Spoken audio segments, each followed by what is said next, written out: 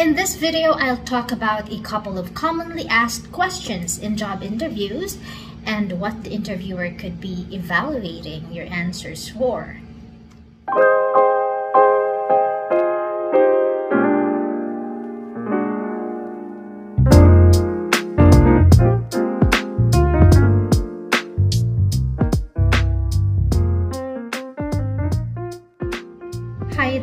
VA Dony here and I'm back with another video for all freelancers and aspiring freelance virtual assistants in the Philippines.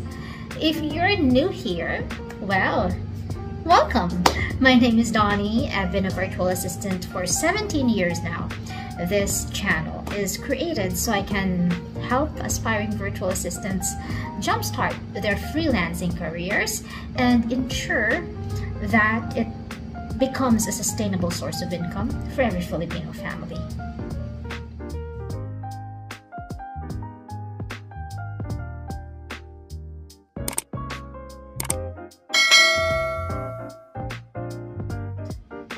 Job questions are not asked in interviews just for the sake of conducting an interview. There are abilities, skills, or traits being evaluated from answers to questions they throw out because the resume or the cover letter cannot prove or validate those abilities.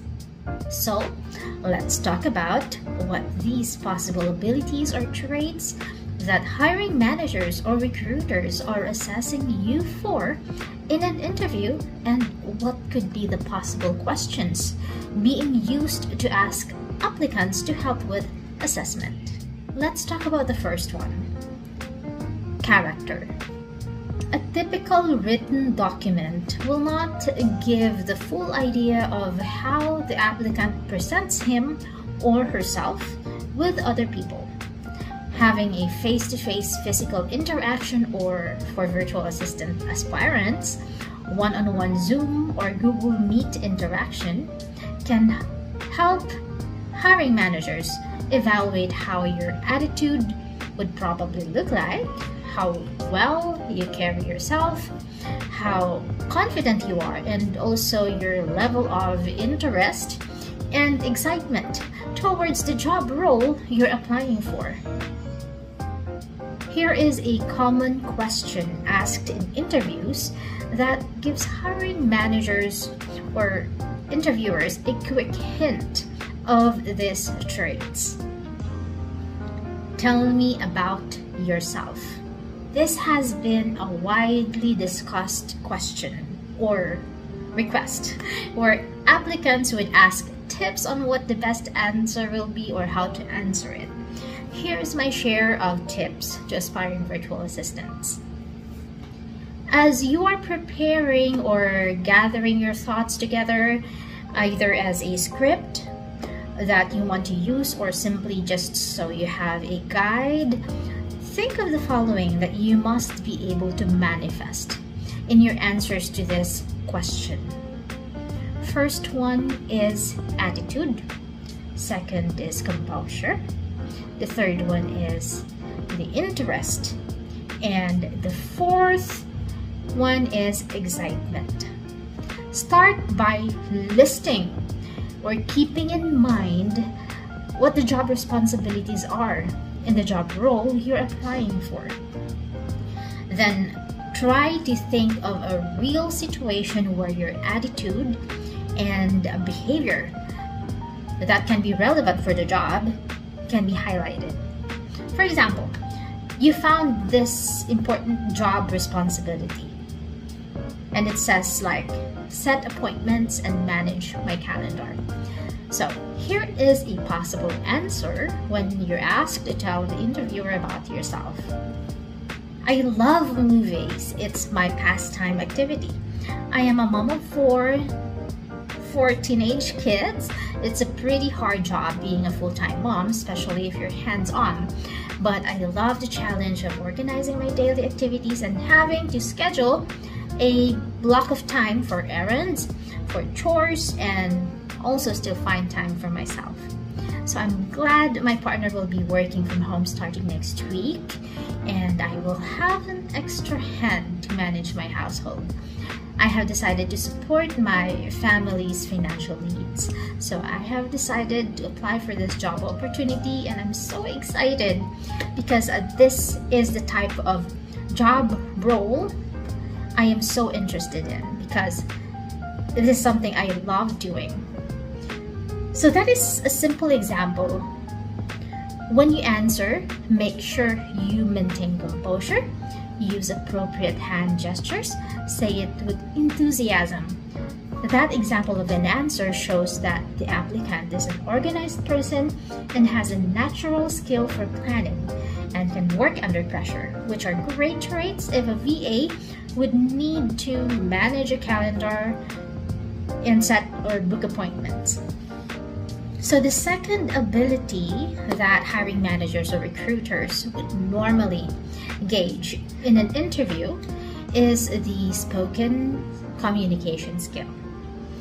This is another common ability being assessed by interviewers in all interview questions. So the moment you are given the chance to speak, the following are being observed.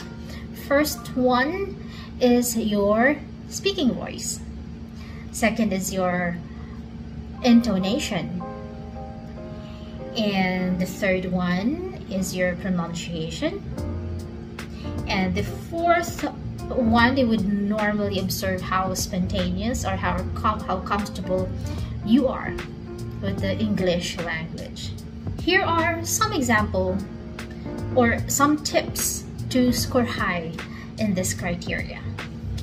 Practice English in your daily activities.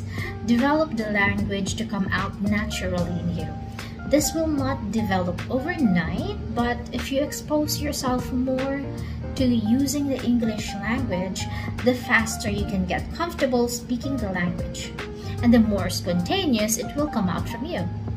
So relax and be yourself.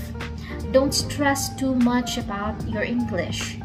Just use simple English words. What is relevant is you are able to express your answer confidently. Another common ability that an interviewer could be assessing you for when you answer a certain question is your technical skill. It depends on the job requirement you're applying for. It could be as simple as how to use a certain online tool for a typical general VA or Amazon VA to a more complicated coding language for web programmers. So here's a common interview question that helps hiring managers assess the level of technical mastery and experience depending on the job requirements. What was your specific role and responsibilities on the most recent project you worked on? Here's how you can come up with an answer to that question. This can apply to an applicant with or without experience. For those with prior experience in using, say, a particular tool mentioned in the job description, you don't just say, I am like good or proficient in using whatever tool or application, but try elaborating by answering these guide questions. What were your tasks in relation to using that particular tool or platform? What were the KPIs or what were your targets, if any, and elaborate how you met your targets and KPIs. Why was it necessary to carry out that particular assignment or responsibility in the first place, if you know that? What are the specific steps you took in using the tool or, or the platform to accomplish that task? For aspiring virtual assistants, here is a simple example of an answer to that question. For instance, the job description mentions a need to be familiar with the use of Google Sheets you can say something like like this.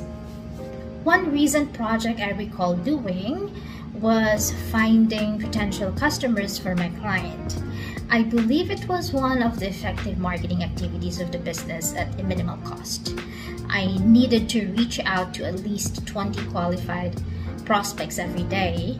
I was expected to have at least one prospect to convert as a paying customer every week.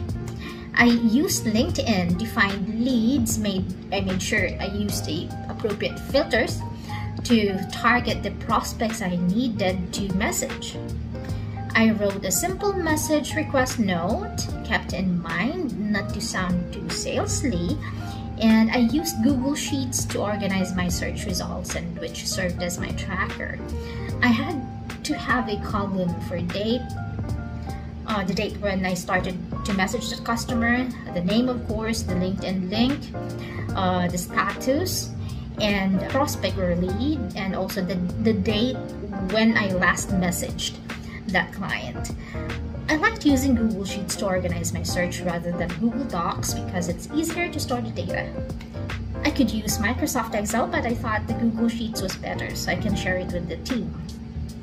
I'm so glad that with that particular task, I was actually able to exceed the expected number of converted prospects and I had contributed to, uh, in a month, I contributed at least 10 new customers during that time.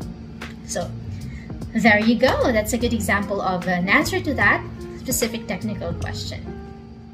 I hope you learned something from my video today. Do ace that interview and good luck in your future freelancing career.